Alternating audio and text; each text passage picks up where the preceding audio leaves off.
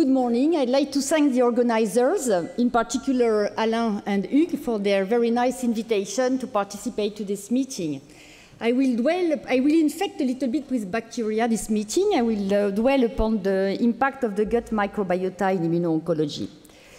So I am uh, a founder of a biotech company devoted in the R&D of uh, bio, live biotherapeutics. There has been a growing awareness from the researchers as well as the oncologists and the journalists in the potential impact of the gut microbiota in cancer immunosurveillance and in tumor biology. As illustrated by this wonderful review in a wonderful journal, Cancer Discovery, written by Hanan, describing the hallmarks of cancer and including the gut microbes. So this work has been um, possible with a generous contribution and intimate relationship with a variety of different investigators that uh, generously gave their vision, their reagents, and their, um, and, and their views very early on, trying to publish in back-to-back -back and expedite the dissemination of the data, and I think it's very important uh, to do so. And I would like also to thank the founding bodies the CIRA Foundation, the French government, and the European Commission. So the cancer immune set point is a threshold beyond which an immune response can ensure and beyond which immunomodulation can give a, clinical, a good clinical outcome. The cancer immune set point is governed by a variety of different factors, notably uh, the cancer and the host genetics, but also comorbidities, uh, co-medications, environmental factors, and today I would like to introduce the microbiota. You have to acknowledge that we are a meta-organism in which our mammalian part has co-evolved for millennia in a mutualistic symbiosis with thousands of bacteria, phages, viruses, fungi, parasites that line onto a 200 square meter intestinal surface separated by the inner milieu by only 20 micrometer, exerting a variety of seminal functions, notably the absorption of the nutrients, the elimination of the xenobiotics and the pathogens, the peristaltism, and more importantly, the maturation of the immune system and the fitness of the uh, epithelial barrier for a full-blown uh, fitness. So the uh, demonstration of the impact of the gut microbiota on uh, immunomodulation relies on uh, four major pillars that I will detail. First, antibiotics. So we have been able to show back in 2018 that patients that took antibiotic prior to the administration of immune checkpoint inhibitors didn't benefit so much from their anti-PD-1 treatment uh, prescribed in second line in the context of non-small cell lung and kidney cancer patients. About 30% of individuals take antibiotics prior to their treatment. So this has been extended uh, in 18 uh, different studies encompassing more than 12,000 patients in this meta-analysis across at least four different malignancies, across different classes of antibiotics, except vancomycin. Uh, and uh, this uh, is not only for PFS, but also OS and objective response rate. And as you can see, the, um, object, the HR, so um, the deleterious effect of antibiotics is 2.26, uh, which is quite uh, remarkable. So, meaning that antibiotics kill uh, the gut bacteria, and by doing so, they reshuffle the composition of the uh, gut composition, of course. Uh, so the, the, the, idea is to show a cause-effect relationship between the gut composition and uh, the failure of the immunotherapy. So we use the avatar mouse model in which germ-free animals or antibiotic-treated mice receive by oral feeding the fecal material from patient at baseline. And by doing so, we can then thereafter inoculate a cancer and treat with anti-PD-1 or PD-L1 antibodies. And we could show that the mere transfer of fecal material from patients at baseline doomed to fail the therapy is actually conferring the resistance to these animals. In sharp contrast, The other way around uh, can be demonstrated when you use uh, fecal material from responders, and these will confer sensitivity to the recipient. So, of course, uh, if uh, the gut microbiota composition dictates the preclinical outcome, uh, it, was, it made sense for a number of investigators to, uh, in, to look at uh, how the gut microbial composition defined by the 16S ribosomal RNA sequencing or the shotgun metagenomic sequencing could actually influence the patient's prognosis. And so first, uh, we analyzed one, more than 1,600 patients and compared them uh, with uh, healthy volunteers at the level of the composition of the gut defined by this 16S uh, ribosomal RNA sequencing or shotgun metagenomics. And we show uh, across eight different cancer models, either early or late cancer models, that actually uh, in linear discriminating um, uh, analysis of effect size, the metagenomic species dominating the cancer patients over the healthy volunteers, uh, line here, uh, can be uh, um, significantly observed uh, and at the expense of the beneficial bacteria uh, sitting here in blue. And in fact, when we turn to the same analysis, trying to segregate non-responders versus responders to immunotherapy across uh, 14 different studies and eight different cancer types, uh, we also uh, redundantly show that some metagenomic species seems to overrule uh, the others that are more beneficial. But most interestingly, we found commonalities, meaning that the enterocluster genus composed of this specific bacteria, for instance, Clostridium bolte or Clostridium asparagi uh, asparagiforme or Clostridium forme, are actually common. So they dominate uh, and overrule cancer patients, and we can find them in non-responders, and they uh, actually uh, at the expense of the Lactospiraceae family members, notably Eubacteriaceae or Ruminococcaceae or Dorea. And the balance between this Clostridium, this enterocluster genus, and the Lactospiraceae is actually dictating uh, the dysbiosis of a given patient. So, uh, it's complex, and maybe we are going to simplify this uh, algorithm. And so we found out uh, that a regulatory bacterium called Akkermansia muciniphila is very interesting. Akkermansia is to the gut what poppy is to the meadow, meaning uh, the indirect uh, witness of a healthy soil. So Akkermansia mucinifila is one of these uh, gram-negative bacterium, mucin consumer and mucin degrading uh, bacterium that is actually um, responsible or very linked to longevity and also uh, to uh, the prevention of insulinoresistance in type 2 diabetes and obesity. And actually the relative abundance as well as the prevalence of these bacteria can actually uh, dictate uh, the prognosis of patients uh, diagnosed with a non-small cell lung cancer and kidney cancer. So this is a prospective analysis duplicating a retrospective one already published, showing that there, are, uh, there is a trichotomic distribution of Akkermansia in the gut of um, our patients, with the vast majority being um, sadly negative, and a few, 10% uh, about, that are expressing too much of Akkermansia above the 70th percentile. And this translates into a very different outcome. Those patients that have Akkermansia to a normal level, the uh, light blue, are actually very good patients. They have uh, benefit from PD-1 blockade, while the others, and specifically those that have too much of Akkermansia or the negative ones, fail to do so. And so we can recapitulate in avatar mice uh, the the clinical significance of this data by simply compensating Akkermansia negative uh, uh, patients and or avatar mice uh, with uh, this uh, particular isolate of Akkermansia that seems to compensate for the lack of response to PD-1 blockade of those feces that confer resistance. And of course, those stools that have already Akkermansia at the first place respond, they confer sensitivity, and they do not need exogenous Akkermansia. So, uh, now, what is the mode of action and how come that commensals residing in the gut can act at a remote site uh, against extra-intestinal malignancies?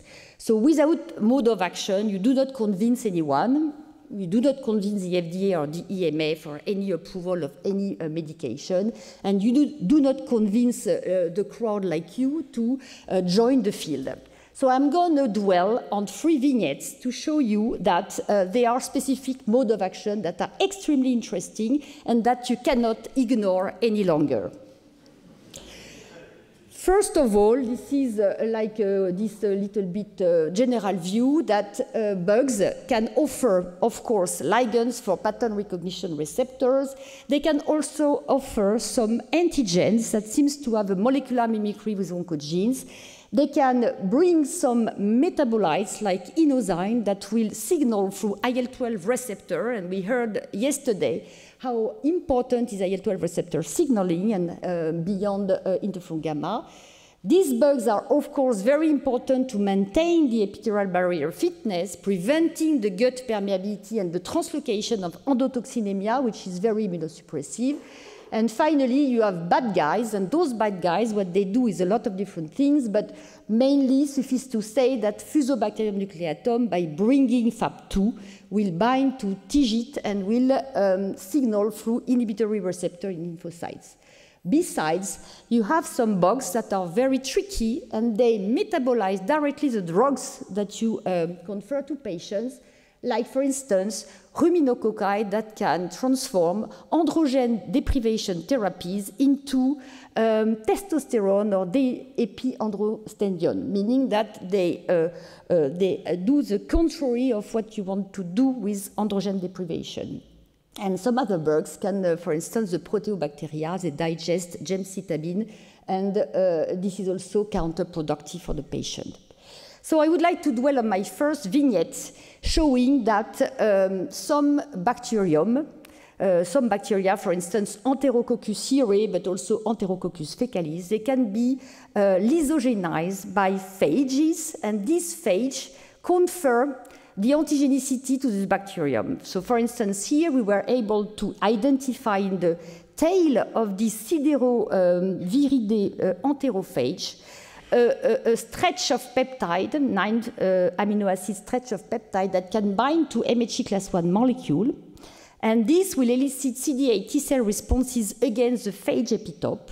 And those T cells can be redirected to cancer, recognize PSMB4, which is a proteasomal subunit, uh, an oncogene uh, overexpressed without any mutation in a variety of different mouse tumors. And in fact, this can be sensed by the immune system. Why? Because the enterococcus that uh, is uh, lysogenized by the phage can translocate from the ileum to the spleen following a treatment with cyclophosphamide.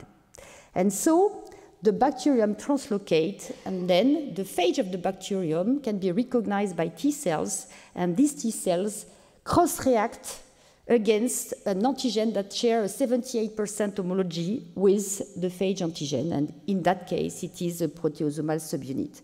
If you knock in uh, the proteasomal subunit, the phage no longer um, elicits uh, an anti-tumor protective immune response, and if you uh, adoptively transfer, if you genetically modify an enterococcus with uh, the phage antigen, you restore the antigenicity uh, to uh, this enterococcus that was not antigenic at the first place. Second vignette, I would like to dwell upon something that uh, a story that has been uh, nicely developed by uh, Marine Fidel, uh, who has to something to see with the um, molecular cues underlying the immunosuppressive effect of antibiotics. So antibiotics, what they do is that they downregulate the mucosal adresine, adesine, sorry, MADCAM, that is a ligand for alpha 4 beta 7 integrin that is normally expressed uh, by gut enterotropic T cells. And so, by doing so, when you have a downregulation of MADCAM at the level which is normally expressed in high endothelial venules of Peyer's patches, of mesenteric lymph nodes, and ileal venules, Then, when uh, MADCAM is downregulated, the alpha 4 beta 7 T cells from the gut uh, are actually um, undergoing an exodus and they leave and traffic back, uh, attracted by other gradients such as cancers, and they end up in the tumor bed and they exert an immunosuppressive function. So, how does that work? Actually, when you stop antibiotics, what grows out are opportunistic bacteria, namely Enterocluster genus belonging bacteria. And these bacteria uh, overcome and they uh, have the power to downregulate MADCAM on these high endothelial venules. And this is uh, interesting to um, note that the MATCAM alpha 4 beta 7 uh, axis is actually uh, extremely uh, clinically relevant in the context of PD1 blockade in mice bearing cancer and also in patients. So I'm going to show you a couple of slides, only two, to just illustrate what I was just uh, summarizing in this graphical abstract. For instance, if you treat uh, cancer bearers with anti-PD-1 and you compare the relative efficacy of these antibodies in wild-type animals versus MADCAM knockout mice, you see that in MADCAM knockout mice, uh, this antibody fails to promote any uh, anti-tumor effects. A similar finding is obtained using the beta-7 integrin knockout mouse that no longer respond to PD-1 blockade. And this is also uh, shown across different cancer uh, models. Interestingly, anti-PD-1, uh, anti-MATCAM antibodies, as well as an antibody neutralizing the heterodimeric form IFL4 beta-7 of this integrin, are exactly mimicking uh, what we obtain in this genetic model. Uh, so it's not just true in mice, it's also true in patients where it's possible uh, to monitor the serum circulating levels of this uh, mucosal adenosine, MATCAM, and you see that patients that took antibiotics have lower levels of soluble MATCAM. And if you segregate this cohort of non-small cell lung cancer patients according to the medium, median of the uh, soluble MATCAM in the, in the blood, you see that you can segregate the responders from the non-responders. And this has been obtained in two independent series of non-small cell lung cancer patients treated in first line or second line PD-1 blockade. So to visualize, so I told you, so how come that this can happen? I, so I was telling to you that uh, alpha 4 beta 7 T cells residing in the gut, which are enterotropic T cells, can leave the gut and ending up into extra-intestinal uh, tumors. Uh, and actually, to demonstrate that, we use two tricks, a CFSC injection into mesenteric lymph node, or uh, we took advantage of these KD mice, generously um, uh, given by the Institut Pasteur. So this is a coral photoconvertible protein. And so when you open these KD mice, uh, and if you um, illuminate with UV light uh, with a proper uh, nanometer uh, wavelength, you can transform the uh, green into red and you can uh, follow the immigration of the illuminated gut T cells towards the skin tumors. And so by doing so, you could see that the alpha 4 beta 7, sorry about that, uh, the alpha 4 beta 7 Tregs are the, um, the main cells that in both uh, type of methodology are emigrating from the uh, tumor, from the, the gut to the tumor. And so you can, um, you can uh, phenocopy these effects using an anti-MATCAM neutralizing antibody, which will promote the exodus of these T cells from the gut uh, to the tumor. And when you do a deeper characterization of these emigrating enterotropic T cells, you can observe that uh, they are ROR gamma T and FOXP3, so they are TR17 cells. And um, so ACS means broad spectrum antibiotics. You see that the neutralization of MATCAM uh, is phenocopied by the antibiotics uh, taken and arrested uh, four days later. However, uh, when you uh, seize antibiotics, uh, the immigration of this TR17 from the gut to the tumor is only can be only perceived for the, a couple of days, so seven days or so, and by day 12 it no longer um, exists. Surprisingly, if you treat the animals concomitantly with a PD-1 blockade, then you uh, maintain the emigration of this TR17 from the gut to the tumor. And this could explain the hyperprogressors, because as you know, some patients, when they are treated with PD-1, anti-PD-1 antibodies, instead of responding, they flare up.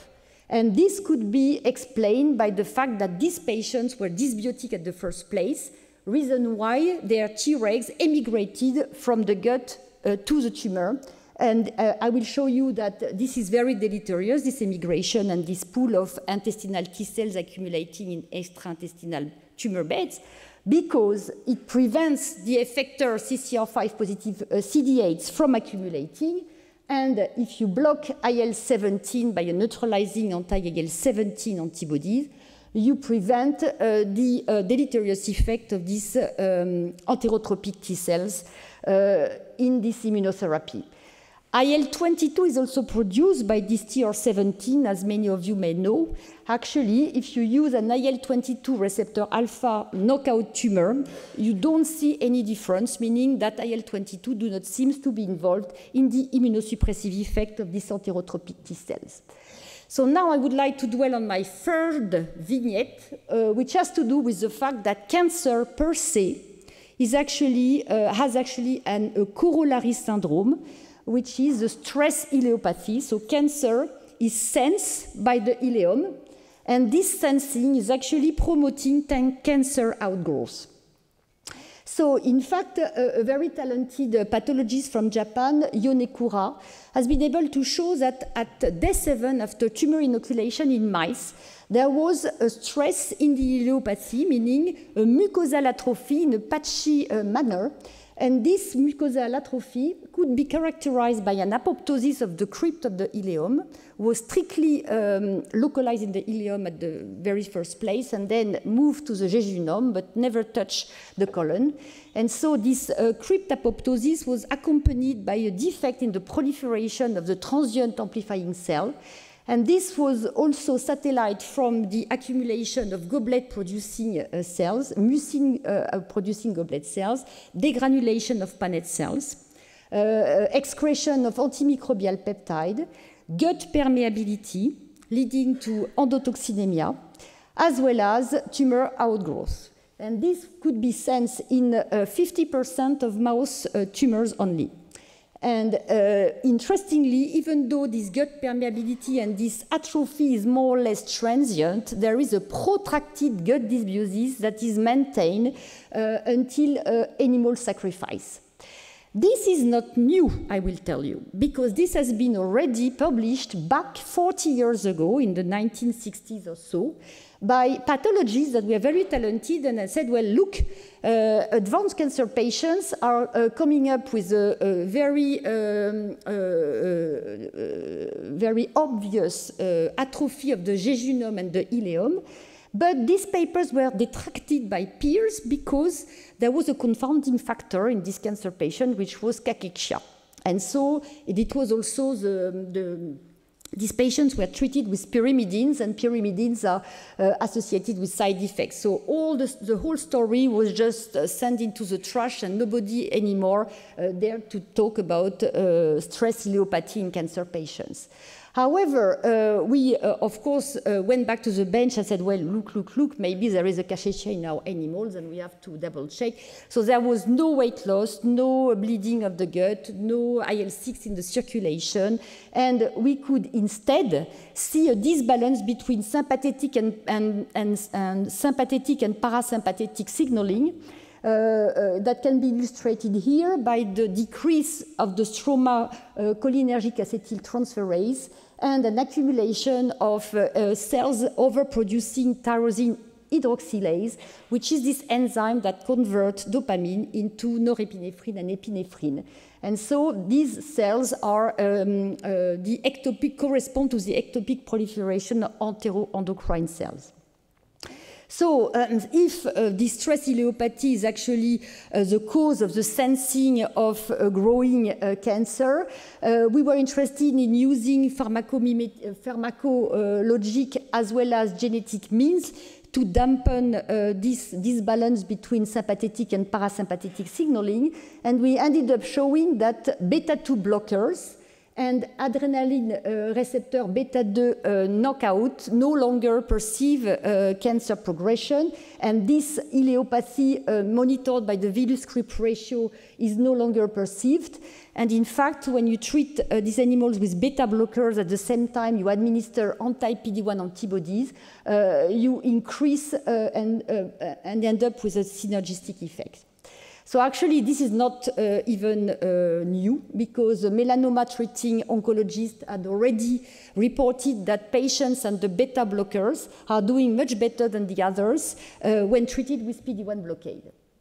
So I told you that uh, this is an epiphenomenon, if I can say so, because what is important is a protracted dysbiosis that is left over after the stress ileopathy has more or less healed by itself. So uh, we were interested in showing and demonstrating the uh, clinical relevance of this dysbiosis, and to do so we use antibiotics, and we monitored the crypt over uh, villus ratio. And actually only one antibiotics could blunt that, vancomycin. So vancomycin is a good guy. It's a good antibiotic that kills gram-positive bacteria, and by doing so, it eliminates, I will tell you, a um, subset of bacterium, that bacteria that are very involved in this ileopathy.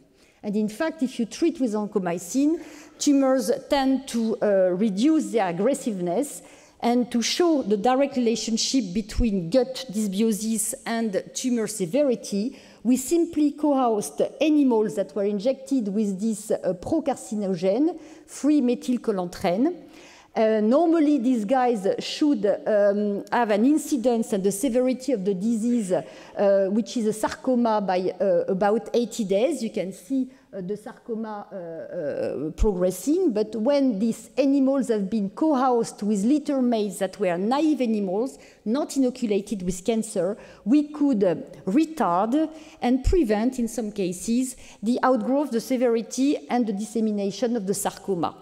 So these animals are coprophagic. That's the reason why uh, they can be uh, they can benefit or uh, not from uh, the uh, composition of the gut uh, of the little mates. So I told you that vancomycin is a good guy. In fact, the linear discrimination analysis of effect size uh, uh, with or without vancomycin is indicating that vancomycin eliminates this Clostridium clostridioforme, asparagiforme, the guys that I was telling to you about that were actually associated with the cancer signature and the resistance to immunotherapy signature.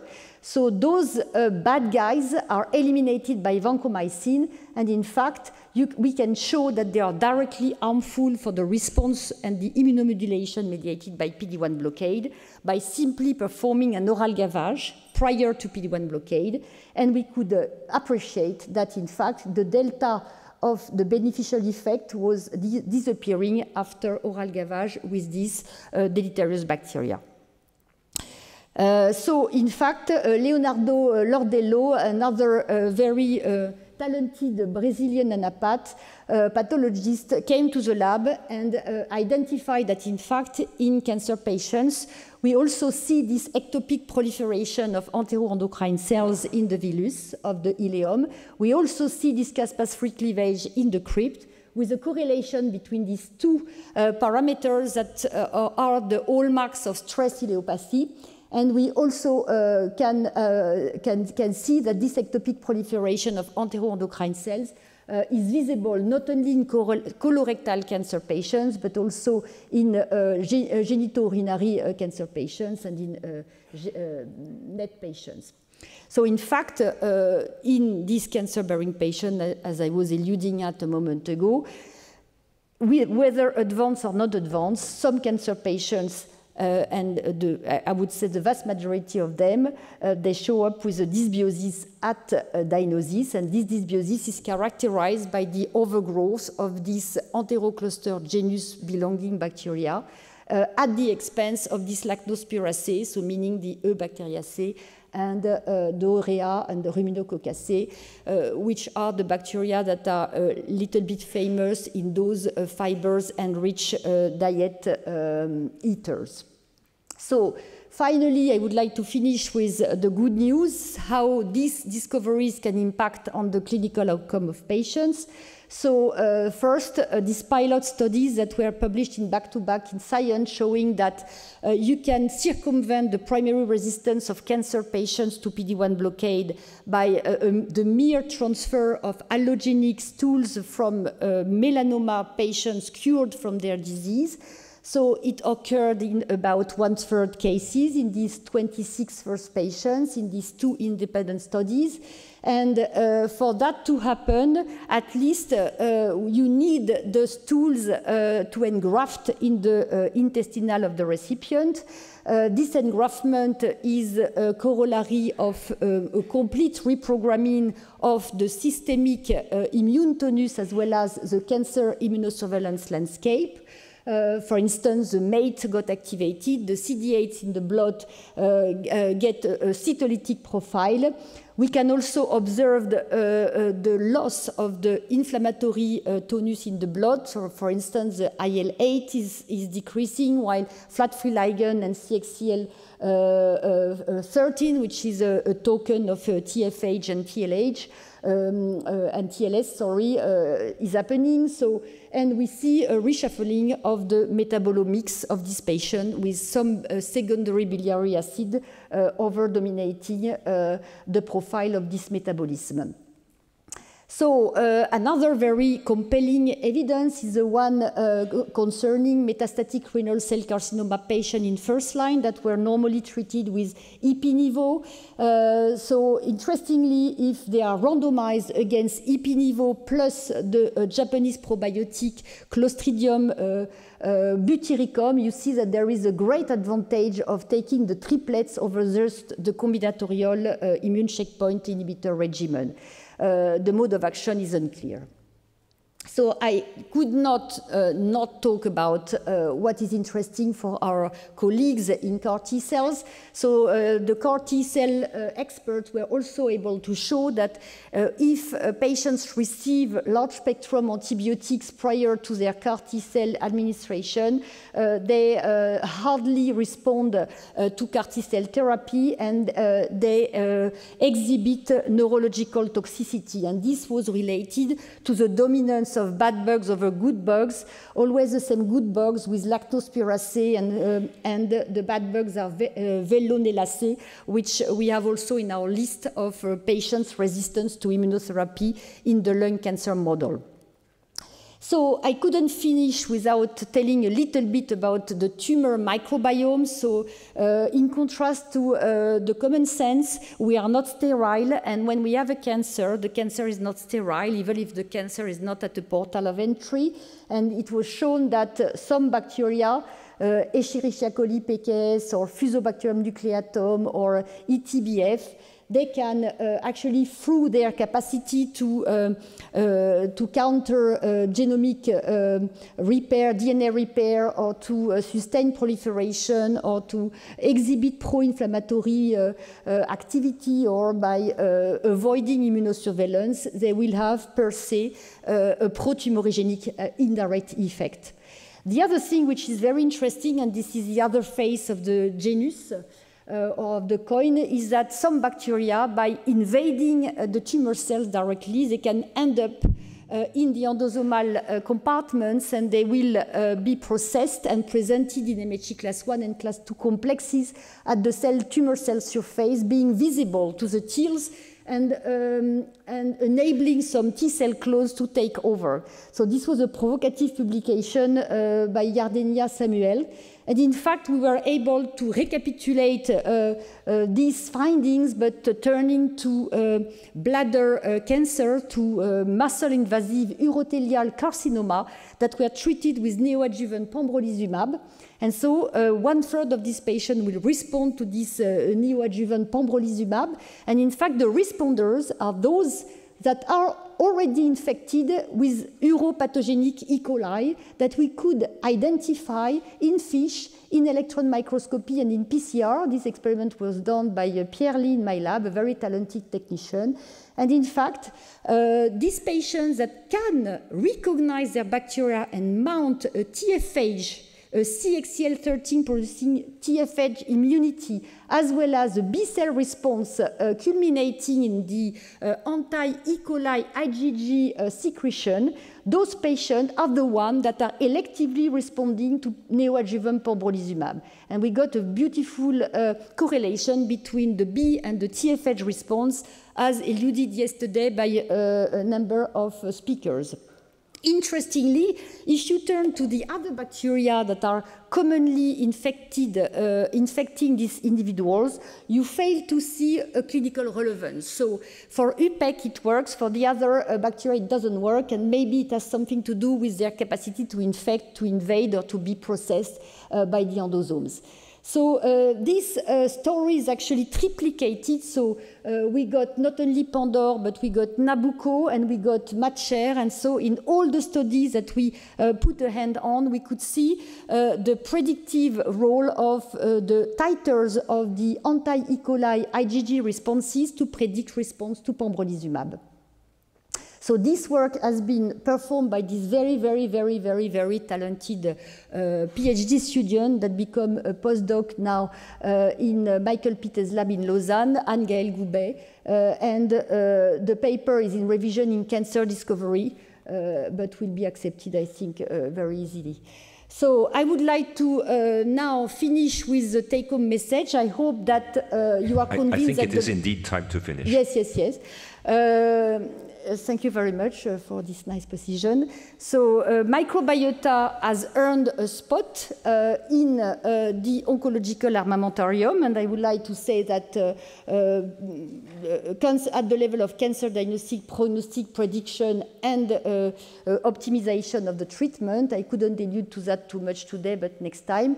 And I would like just to say that at Gustave Roussy, uh, the directors have put a, a certain emphasis uh, so that uh, everyone, every single patient will have a, a diagnosis of gut dysbiosis and every single patient that will uh, be amenable to immune checkpoint blockade should be eligible for a, a ketogenic diet or free deoxybutyrate or allogenic fecal microbial transplantation or akkermansia, depending on his uh, gut profile. I would like to thank uh, the, all the investigators, my very, very, very talented uh, young investigators, Lisa de Rosa and Bertrand Routy, as well as the uh, key opinion leaders in the lung and in the kidney, the metagenomics experts that were absolutely wonderful, and our um, star, our French stars uh, that you can easily recognize, as well as uh, all uh, the PhD and the, postdocs uh, that you can are listed here: Imran Lamar, Leonardo Lordello, Marine Fidel, uh, and Carolina Alves Costa Silva, Jean-Eudes, and so on. I am really grateful to their uh, outstanding work and also our new postdoc that just came recently in the lab and has got a, a very renewed the fellowship. So, uh, and I would like to thank uh, the others. Thank you very much.